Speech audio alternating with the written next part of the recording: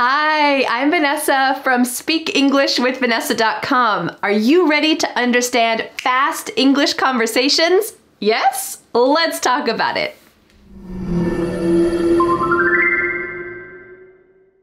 Speaking naturally and fluently is a great skill to have, but if you can't understand what the other person is saying, you're gonna have a big problem. Today, I want to give you my top tip for understanding fast English conversations. You're going to learn number one, how to understand fast English conversations. Number two, we will practice this method together. Get ready.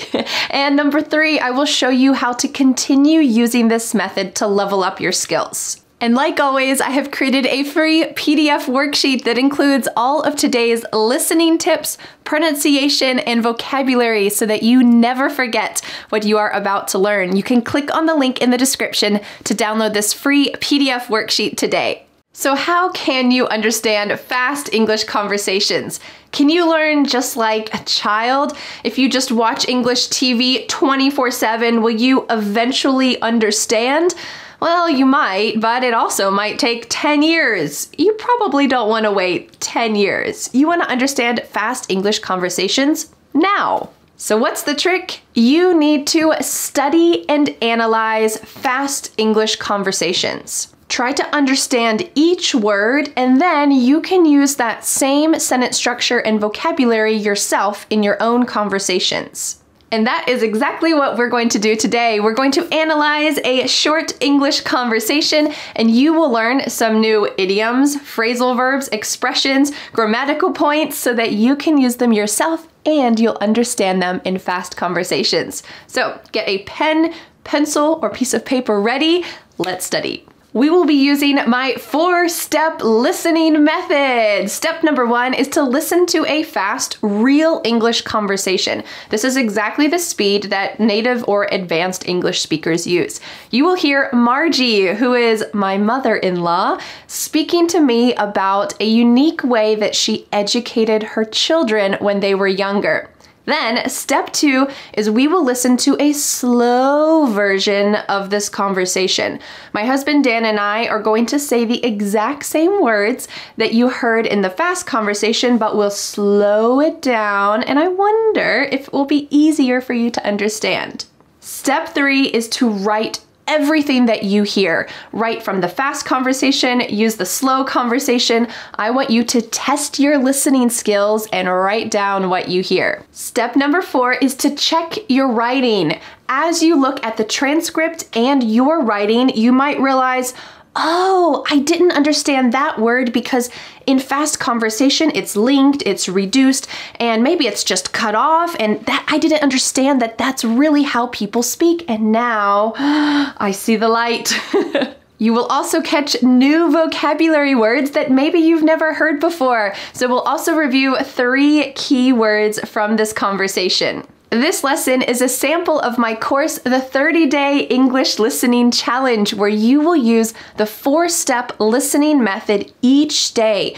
Each day, you will receive a new lesson, and this will help you to level up your listening skills and finally understand fast English conversations. Thousands of English learners around the world have joined the listening challenge, and some of them have told me that at the beginning it was really tough, but as time went on, it got easier and easier. So if today's lesson seems tricky for you, don't worry, it's your first lesson. I hope that you can join us. There's a link in the description, and it will get easier and easier for you over time. Let's take a look at the worksheet so that you can see exactly what you need to do. Here's the conversation outline. First, you will hear Margie's voice, then my voice, then hers, and so on. If you have a piece of paper, I recommend writing M, V, M, V, and so on so that you can prepare yourself to write what you're going to hear. This lesson is day 16 of the listening challenge, but today it's a free sample for you. Are you ready? It's time for the fast English conversation clip with Margie. We're going to listen to it three times, and I challenge you to write down exactly what you hear. If you need to repeat this section again and again and listen to it 10 times, that's no problem, but I want you to be active. Are you ready? Let's listen, and I want you to write. Let's go. One quick thing that I forgot to mention is that we will be going through three segments in this special video. The first segment is where we will practice understanding a fast conversation with my mother-in-law, Margie. And then we will go through another fast conversation, a little more advanced, a little more challenging, with Christopher. And finally, at the end of this lesson, I'm going to give you my top five tips to help you understand a fast English conversation. These tools will guide you and help you in your English journey. All right, let's get started with the first clip and meet my mother in law, Margie. I homeschooled my children, and that was a, a, big thing way back when. Not the norm. Not the norm. Yeah. That's kind of typical of the US, though, that people do do things differently. Yeah. Not everyone follows the same pattern. I homeschooled my children, and that was a, a, big thing way back when. Not the norm. Not the norm. Yeah. That's kind of typical of the US, though, that people do do things differently. Yeah. Not everyone follows the same pattern. I homeschooled my children, and that was a, a big thing way back when. Not the norm. Not the norm. Yeah. That's kind of typical of the US, though, that people do do things differently. Yeah. Not everyone follows the same pattern. Did you feel like that was too fast? Well, native and advanced English speakers can understand every word of this conversation, and I want you to be able to do that too because when you visit the US or you have a business meeting in English or you talk with friends in English, people will speak this fast with this type of English. Let's go to step two of my four step listening method, where you will listen to the slow version. My husband Dan and I are going to say each exact word that you heard in the conversation with Margie, but we're going to slow it down. This is not how people speak in real life, but I want you to see if you can hear each word, and then we're gonna go back to the fast version afterwards because I think you'll be able to understand a lot more at the end. All right, let's listen to the slow version three times. I homeschooled my children, and that was a big thing way back when. Not the norm. Not the norm. Yeah, that's kind of typical of the US, though, that people do do things differently. Yeah. Not everyone follows the same pattern. I homeschooled my children, and that was a big thing way back when. Not the norm. Not the norm. Yeah, that's kind of typical of the US, though, that people do do things differently. Yeah. Not everyone follows the same pattern. I homeschooled my children, and that was a big thing way back when. Not the norm. Not the norm. Yeah, that's kind of typical of the US, though, that people do do things differently.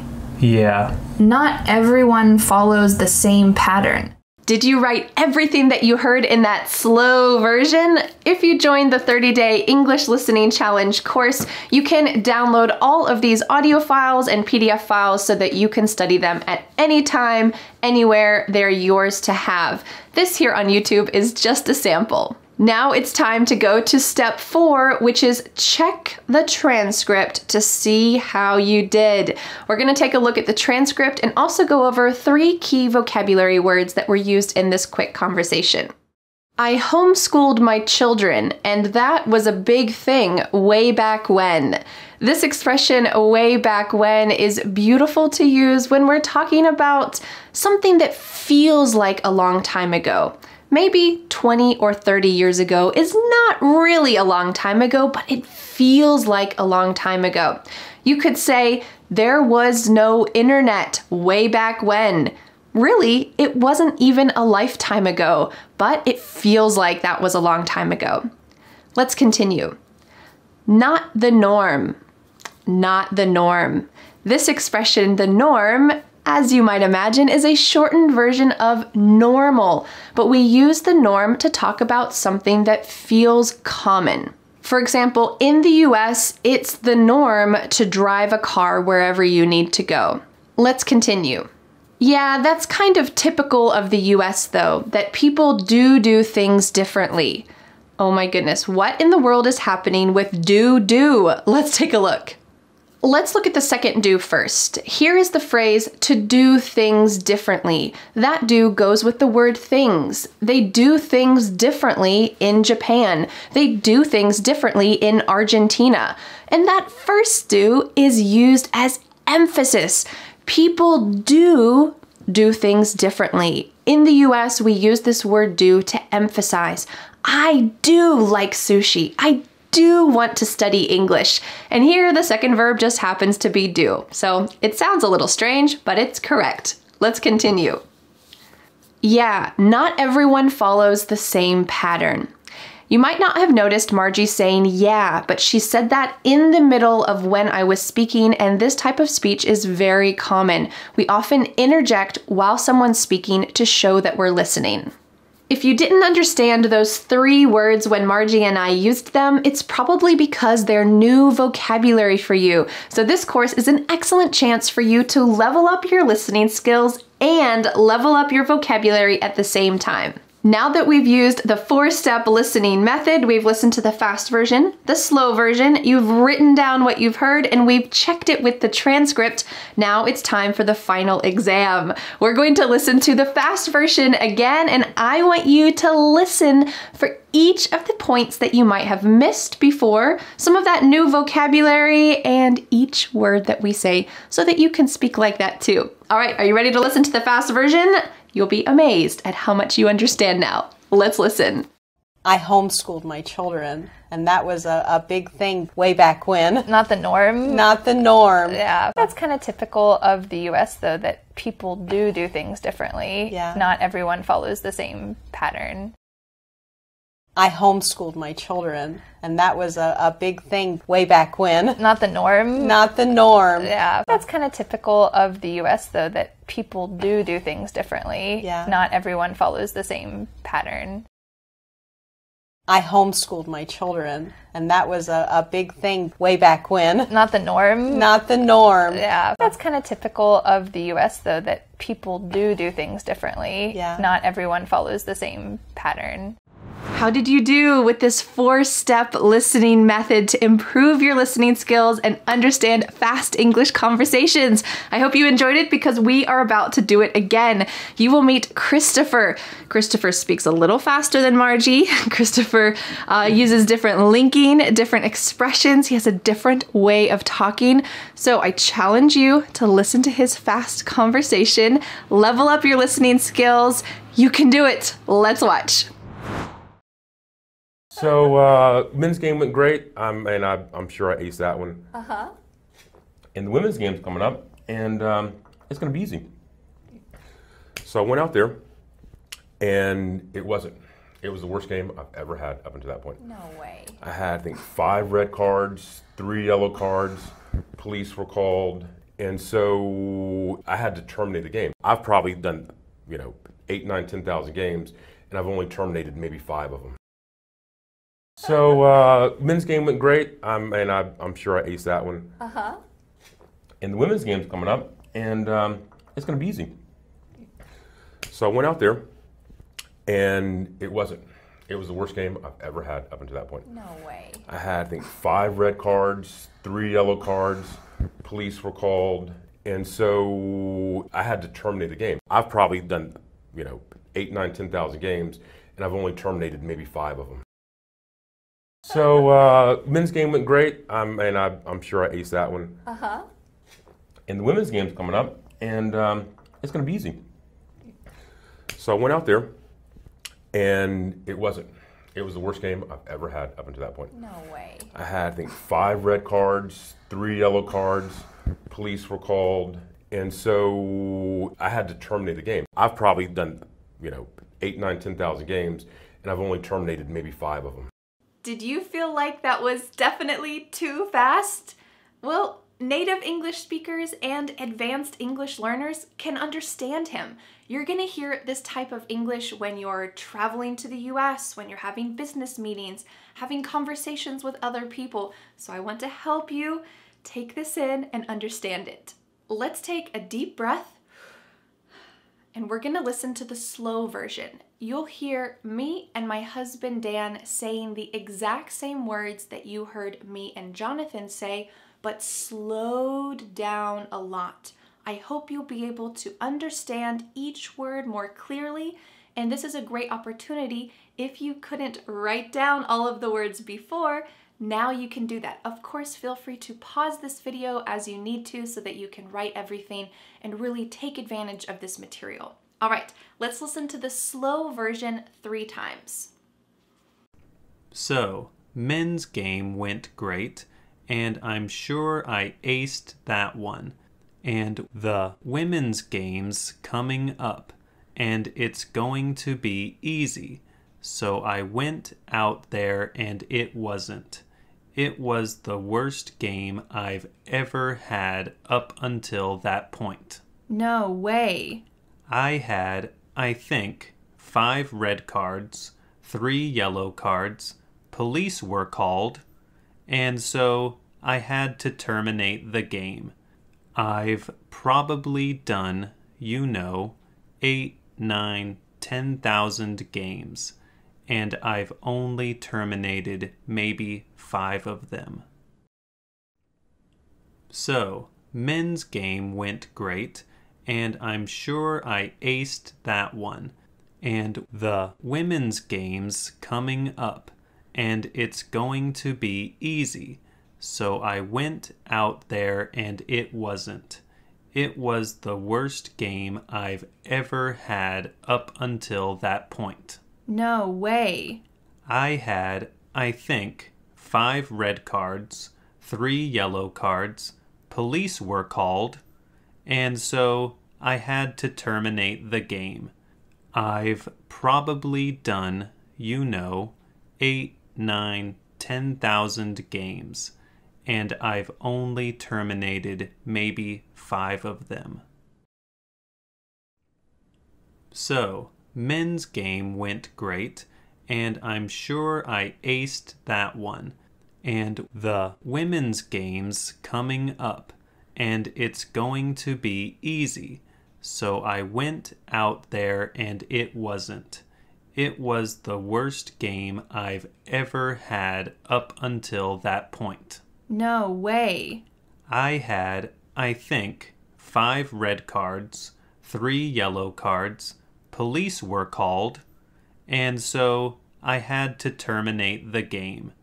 I've probably done, you know, eight, nine, ten thousand games, and I've only terminated maybe five of them. Did you write everything you heard? Well, if you join the 30 day English listening challenge, you'll be able to download each of the lessons each day and go back and review it as many times as you want. But for this lesson, you can just pause the video if you need to go back. So how was this? Was it too fast? Did the slow version help you? We're gonna go on to the next step, which is taking a look at the transcript and trying to learn some new words with this. There are three new words that you're gonna learn in each lesson every day, but we're also gonna be taking a look at some trouble sections that might have been difficult for you. Let's take a look at the transcript. So here you have the transcript of our conversation. I'm gonna read it slowly and then go through different things that you can learn from this short clip. First, Jonathan says, so men's game went great. And I'm sure I aced that one. You can see at the bottom there are three vocabulary words that I want you to learn with each lesson, and this is one of them, to ace something. That means that you did a great job. You might say, I aced my test, or I aced my first day on the job because I did really well. So you're talking about doing well. So he did a great job being a referee for the men's game. But then something bad is gonna happen. Let's go on to his next sentence. And the women's game's coming up and it's going to be easy. He uses another great expression, to come up. This is talking about something that's happening soon. My birthday is coming up, or Christmas is coming up. The new year is coming up. It's going to be happening soon. It's coming up and it's going to be easy. Let's take a moment to look at the grammar of this sentence. He says, the women's game is coming up. It is going to be easy. Is he being a referee right then as I'm having that conversation with him? You can imagine probably not. This is talking about something that happened in the past. But why does he use the present tense? The game is coming up. It is going to be easy. Well, this is a storytelling technique in English that sometimes we use the present tense to talk about something that happened in the past to make the listener feel like they're right there in the action as it's happening. So we go back and forth between the present and the past tense when telling a story. And that's what he does in his next sentence. He uses the past tense. Let's move on. So I went out there and it wasn't. He went out to the soccer or football field and it wasn't easy. It was the worst game I've ever had up until that point. So he's contrasting the men and the women's game. The men's game went great, but the women's game was the worst game he had ever had.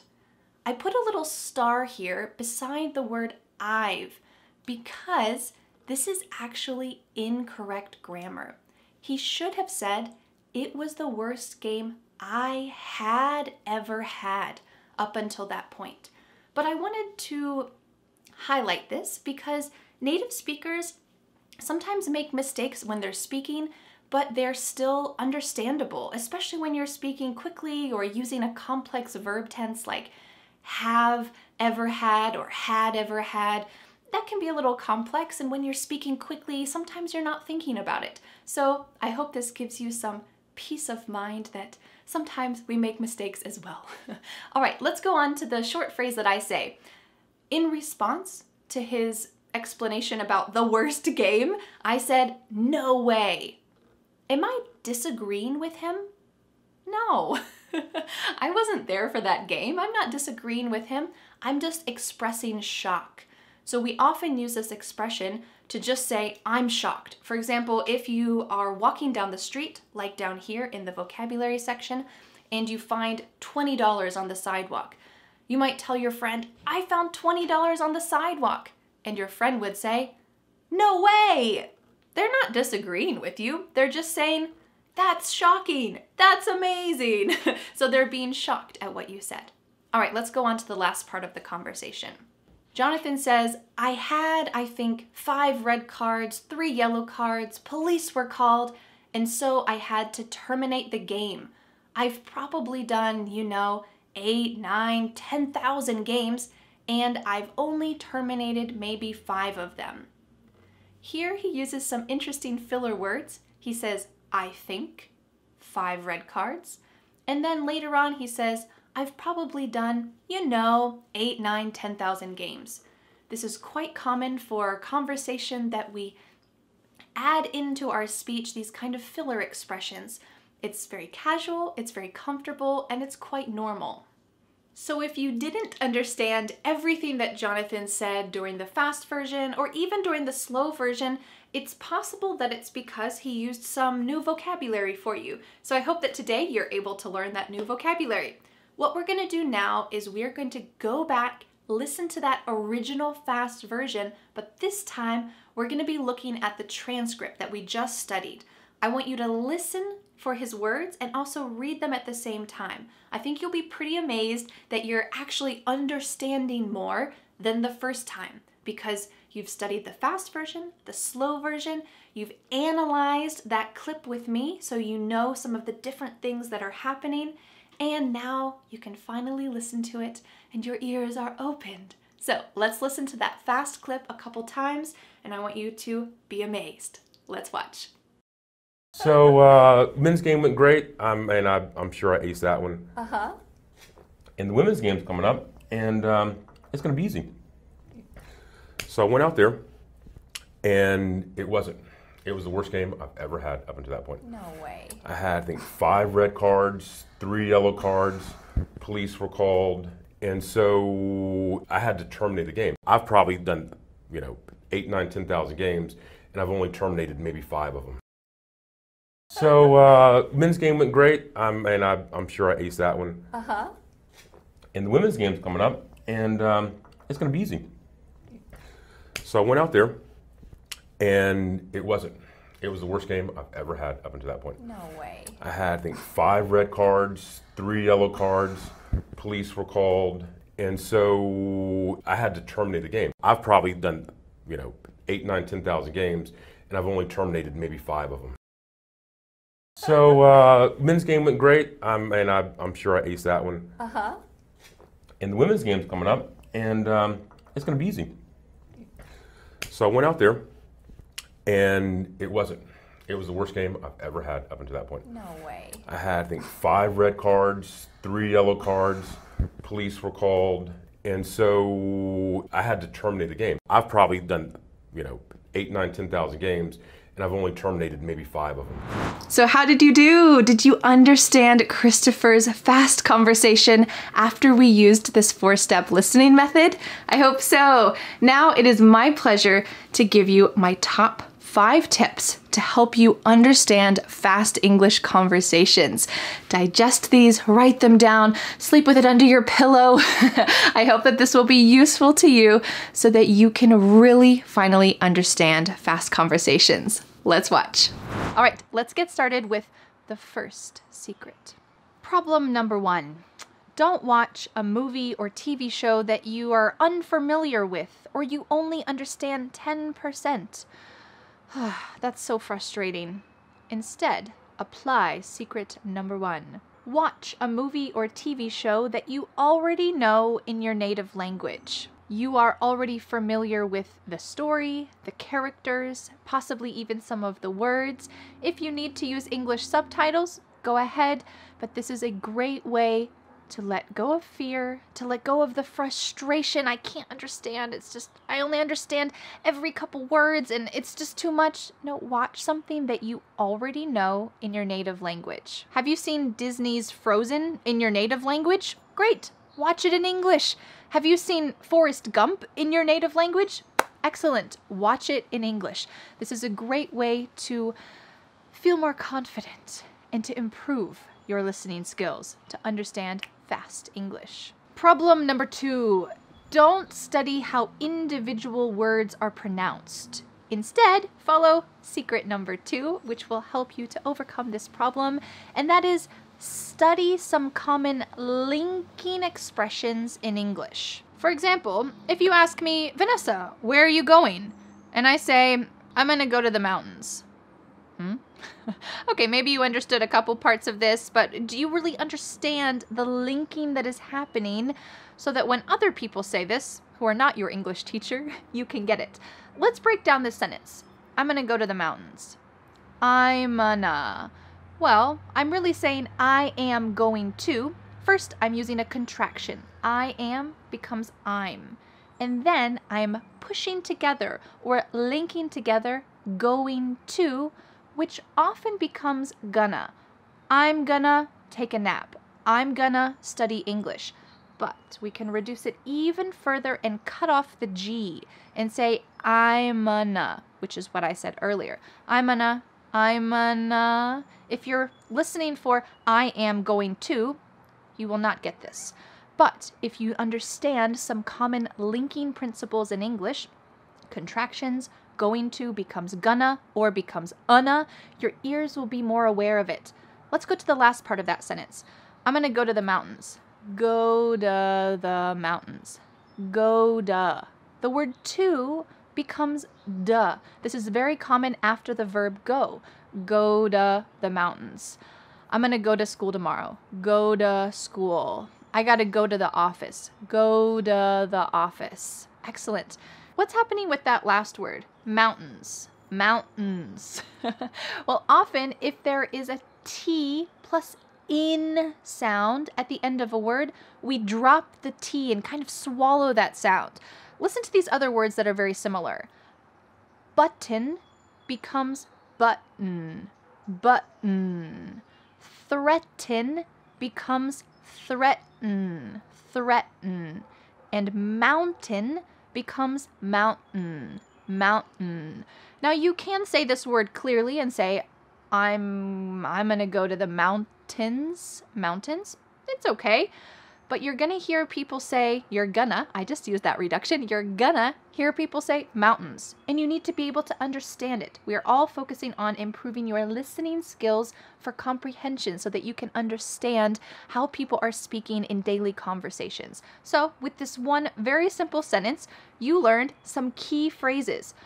I'm gonna, I'm gonna go to the mountains. Can you say that with me? Let's have a little pronunciation practice. Also, when you improve your pronunciation, you're also improving your listening, so they are linked together. Let's say it together.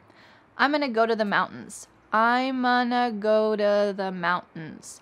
I'm gonna go to the mountains. I'm gonna go to the mountains. Lovely. Problem number three is uh, don't get discouraged. A lot of English learners try to watch something in fast English or they have a business meeting where people are speaking so comfortably in English and they're just sitting there fearful. Please don't ask me a question. Please don't call on me to speak because they can't understand the conversation that's happening. And this can be really discouraging. You feel like you'll never be able to actually understand what people are saying. So, we need to just take it slow. I know we're talking about fast English here, but don't expect yourself to be able to understand English overnight. This is a journey. This is a process. So, the problem that a lot of English learners have is that they get discouraged too quickly and they're not realistic about it. So, let's see how secret number three can help you with this. Secret number three is to take some notes. Whenever you hear something fast, take a note about it. Write it down in a notebook, write it down on your phone, and when you learn one new quick phrase every day, this will build and build and build over time, so let me help you do this today. Take a look at this sentence. I gotta go. Well, if you're in a hurry and you're at a friend's house and you look at the time, ah, I gotta go, I'm gonna be late. This is a great phrase to use, but what's happening here? There are a lot of reductions, a lot of things that are cut out. We could say, I have got to go. This means I need to leave right now. I have got to go. But when we reduce that, we cut out have, and got to becomes gotta. Gotta, but we don't pronounce the T, so we're going to reduce it one more time. And in American English, the T's change to a D sound. Listen when I say it. I gotta go. I gotta go. I gotta go. Oh, sorry, I gotta go. I'm gonna be late. I gotta go. Can you say that with me? Sorry, I gotta go. Sorry, I gotta go. Great, you just learned one normal and casual and natural reduced English phrase. You did it. Great. So now I hope you feel a little bit less discouraged because you conquered that mountain. Mountain. Problem number four that I see a lot of my English students making is don't just speak with yourself or your pet this is a good starting point, but really to overcome that, secret number four is you need to speak with someone else. There is nothing like having a real time conversation with someone. Do you know what real time means? It means it's happening at that second. You can't pause and rewind and go back. No, if you don't understand at that second, there's real world consequences because you're going to need them to repeat. You're going to have to ask them, oh, sorry, I didn't catch that. Can you repeat it?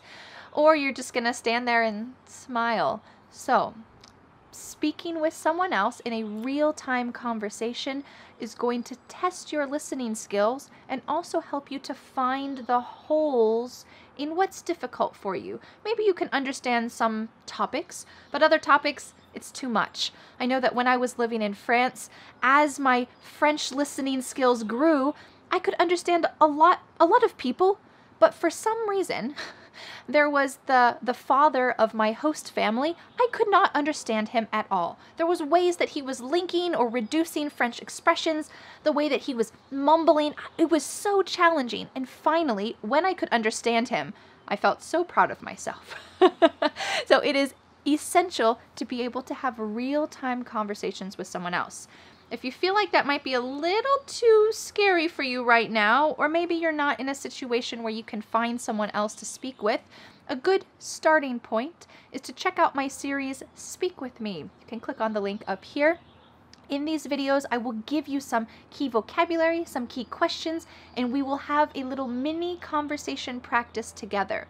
The good thing about this type of practice is that it's kind of real time, but you can also pause the video and go back and practice it again. So I hope this will be a good tool to help you with this secret number four. Speak with somebody else. Problem number five that I see a lot of English learners make is they just watch English lessons on YouTube, like this one. and while that's great, you can't only do that. You also need to be able to practice real conversation listening skills because that's what happens in the real world. Whether you're watching a TV show, whether you're talking with someone at a hotel, whether you're talking with a client on the phone, it's not exactly an English teacher who speaks clearly and understandably and understands that you're an English learner. No, it's important to step that up. So, if you can already understand me pretty well, maybe you're using subtitles, maybe not, that's okay. What if we added one more person to my conversation?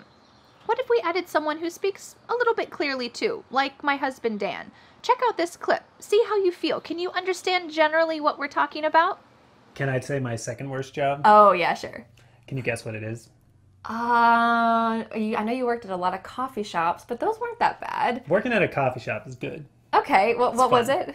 It's the sharpshooter. Oh, can you explain about that I job? had, yeah. So I don't know if you've ever seen this in your country, Mm. but have you ever been to a place where somebody takes your picture and then later they try to sell you that picture? Uh-huh. I was that guy. So we took the same pictures. It was going onto a boat Mm-hmm. in uh, on one of the rivers in Pittsburgh. So you're kind of like a cruise boat. Yeah, a river cruise. It's very kitschy though, Mm. like not high class at all.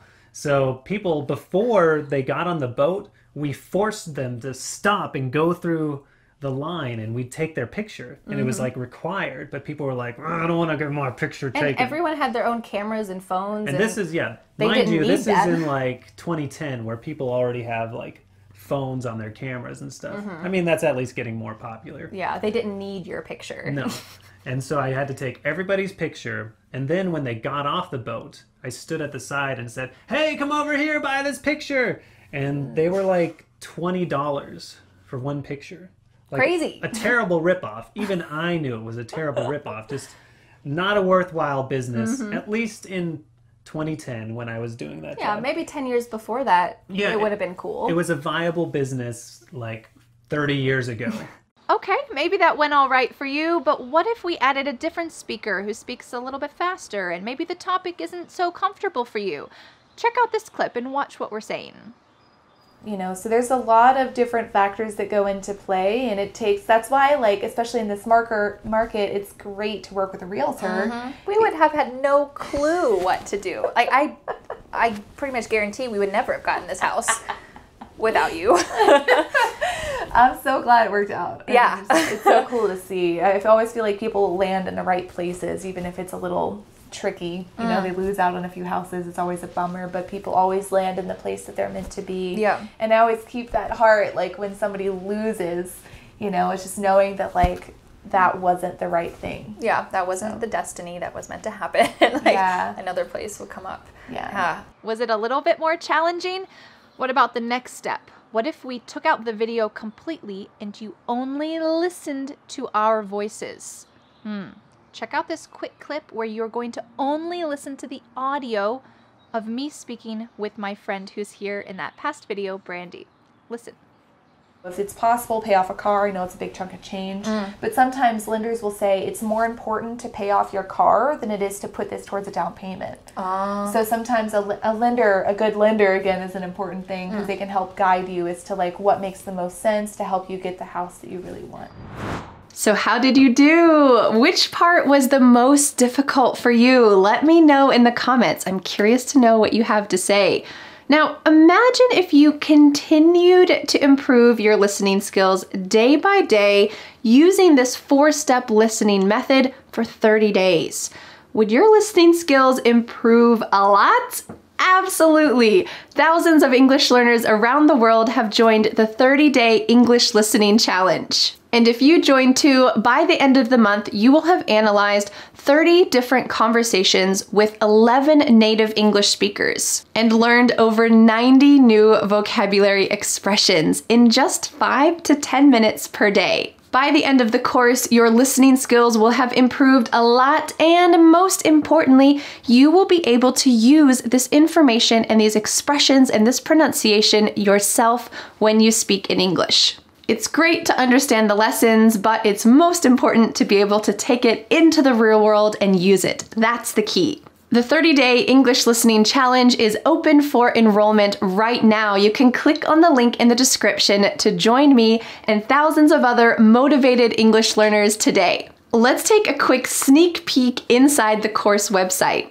When you join the 30 day English Listening Challenge, you will see day 0 through 30. On day 0, you can find a course guide with my recommended study plan for each day and a calendar so that you can check off each day when you finish. You'll feel so proud of yourself when that whole page is filled up with check marks. Let's take a look at day one. Here you can see the four step listening method the fast conversation, the slow conversation, the worksheet that you can use to fill in what you hear, and number four is the transcript with three new vocabulary words each day, a total of 90 new vocabulary words over 30 days. If you can easily understand my English lessons here on YouTube, but you cannot understand fast movies and TV shows in English, this is the perfect course for you. There is a link in the description to join me in the 30 day English listening challenge today. Well, thank you so much for learning English with me, and I'll see you again next Friday for a new lesson here on my YouTube channel. Bye!